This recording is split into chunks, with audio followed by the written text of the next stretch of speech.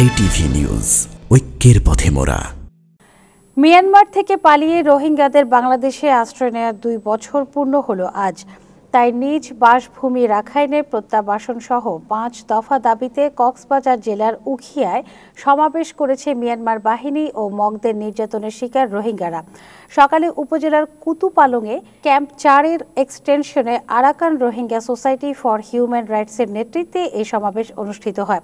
সমাবেশে মিয়ানমারের রোহিঙ্গা জনগোষ্ঠীর ওপর চালানো অমানবিক নির্যাতনের প্রতিবাদ জানানো হয়। একই সঙ্গে রোহিঙ্গা প্রত্যাবাসনে মিয়ানমারের নাটক ক্ষোভ প্রকাশ করেছেন বক্তারা।